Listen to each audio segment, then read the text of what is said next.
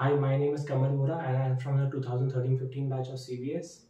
So total I have a 6.5 years of experience and I started with my career with KPMG. I got placement from the CBS campus itself and then I worked for other two big fours like I worked with EY and I worked with PwC as well.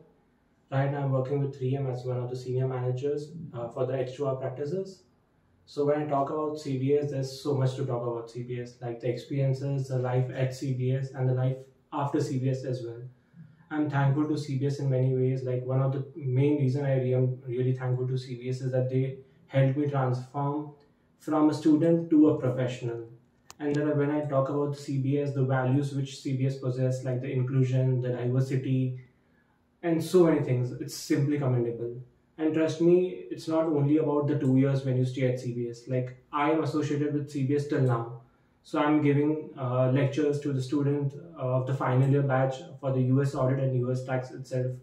So it's not only about the two years. Trust me, the experiences of the two years of CBS stays with you till the lifetime. Cheers. Thank you.